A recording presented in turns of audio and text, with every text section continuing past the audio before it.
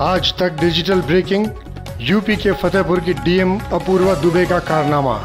अपनी गाय की देखभाल के लिए लगाई सात डॉक्टरों की ड्यूटी। सुबह से शाम तक लगाई गई है सरकारी डॉक्टरों की ड्यूटी। फतेहपुर के मुख्य पशु चिकित्सक ने जारी किया आदेश। डीएम की गाय की देखभाल करेगा डॉक्टरों का जत्था। यूपी के फतेहपुर की डीएम अपूर्वा दुबे का ये कारनामा।